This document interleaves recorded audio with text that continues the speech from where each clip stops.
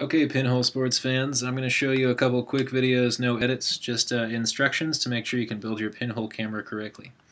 So part one of the camera, which you should already have built from inside of class, is this interior box.